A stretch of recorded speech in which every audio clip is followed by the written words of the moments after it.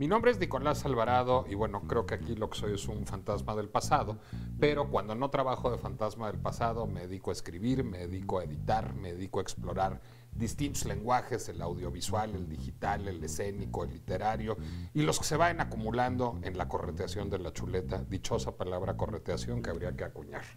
Pero yo quisiera hablarles de otra palabra, de la palabra conversar. Fíjense qué bonita palabra es conversar, porque conversatio, que es el latinajo que da origen a conversación y a conversar, significaba originalmente el lugar donde se vive o la forma en que se vive, porque justamente a partir de vertere, de, que dio origen después a verter y que significaba girar, dar vuelta, y de con, que significa hacerlo juntos. Bueno, pues la conversación es este lugar en donde uno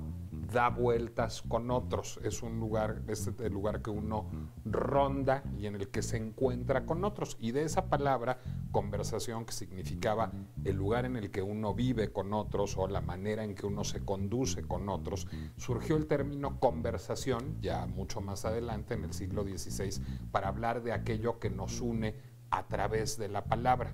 A lo largo de los últimos 20 años, la dichosa palabra ha sido un lugar en donde, donde muchos hemos vivido de manera permanente. Yo viví en ella durante 10 años, pero en donde todos hemos vivido como espectadores, como seguidores de el extraordinario, el gozoso, el divertido, el dichoso trabajo que hacen Laura, Pablo, Germán y Eduardo con el lenguaje. Un abrazo muy grande a mis amigos de la dichosa palabra por los primeros 10 años que pasé con ellos, por los siguientes 10 años en que lo han hecho todavía mejor y por los que les faltan. Seguimos acá, seguimos allá, conversando con los dichosos.